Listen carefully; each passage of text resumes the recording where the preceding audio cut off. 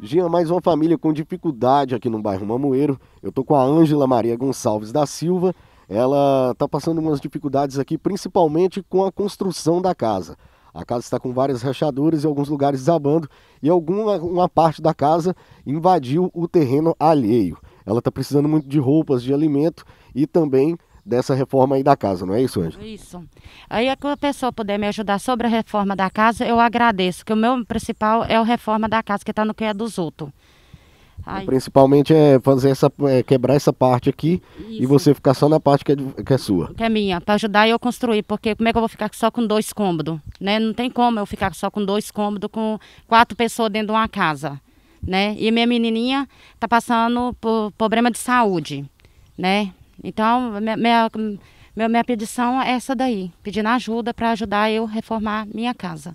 E o problema de saúde dela é decorrente aos estragos Isso. na casa. Deu, deu alergia também e o outro problema de mocinha. Deu um problema grave.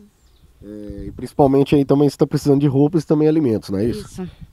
O que a pessoa puder ajudar, a gente agradece, tá? O telefone de contato, pessoal, é o 999439749. Você fala com a Ângela Maria Gonçalves e ajuda ela aí na reforma dessa casa e no que você puder ajudar, não é isso, Ângela? Isso. E aí eu agradeço todo mundo que puder me ajudar, principalmente na reforma da casa, porque a situação minha não dá para mim mexer na casa. Não dá. A situação minha não dá.